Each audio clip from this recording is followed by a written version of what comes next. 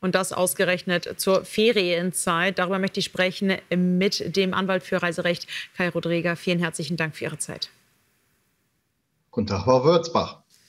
Also es brennt aktuell und die Situation, sie ist noch immer nicht im Griff. Man weiß nicht genau, wie es weitergeht. Was bedeutet das jetzt, wenn ich die Reise noch nicht angetreten habe, aber eigentlich einen Urlaub geplant hatte? Was sind da jetzt meine Möglichkeiten?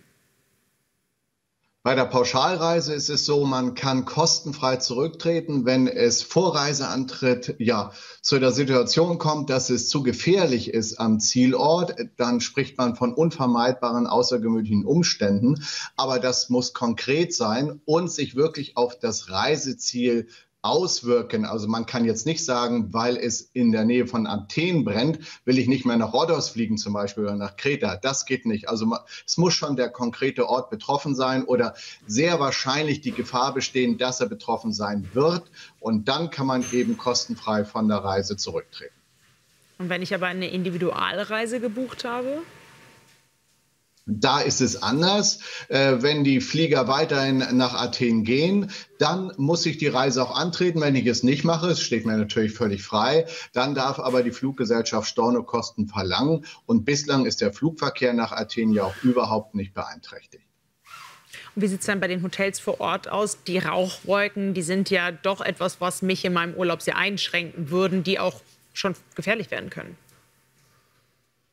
Also Rauchwolken alleine am Horizont, das reicht nicht bei einer Pauschalreise. Wie gesagt, es muss zu einer konkreten Gefährdung oder deren hohen Wahrscheinlichkeit kommen. Wenn man jetzt nur ein Hotel gebucht hat, irgendwo in der Nähe dieser Waldbrandgebiete, dann muss man auch wieder abwägen, kann es wirklich gefährlich werden. Aber wenn die Situation eintritt, dass vor Ort evakuiert wird, dann muss man natürlich auch als Individualreisender das Hotel nicht mehr bezahlen. Aber da hängt es wirklich vom Einzelfall ab und da muss man die weitere Entwicklung absehen. Waldbrände als solche sind nicht ungewöhnlich in Griechenland, natürlich in der Schwere wie jetzt, das schon, aber mit Waldbränden muss immer gerechnet werden und das gehört dann auch irgendwo zum allgemeinen Lebensrisiko.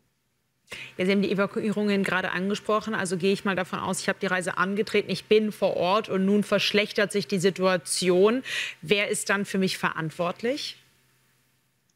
Da ist der Pauschaltourist auch wieder besser abgesichert als der Individualtourist. Der Individualtourist ist eher auf sich alleine gestellt.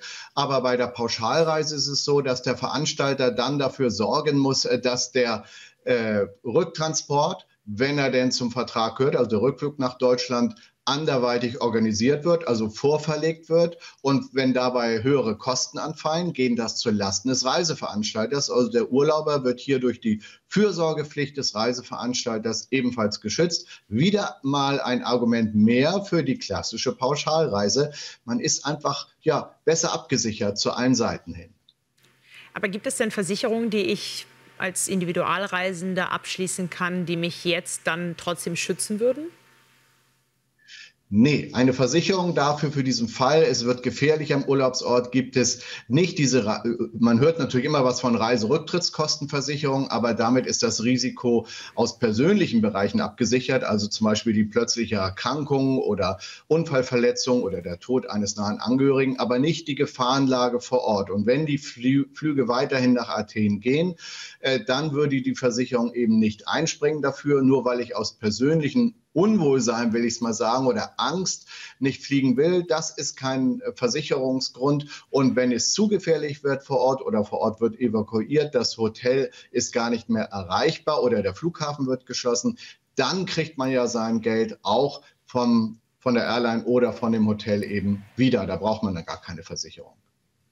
Also trotzdem, man ist auf sich alleine gestellt, wenn man individuell gebucht hat. Das ist die Situation, die man jetzt auf jeden Fall beobachten sollte, wenn man Griechenland demnächst auf seinem Urlaubsplan hat. Herr Rodriguez, vielen herzlichen Dank für diese Erklärungen.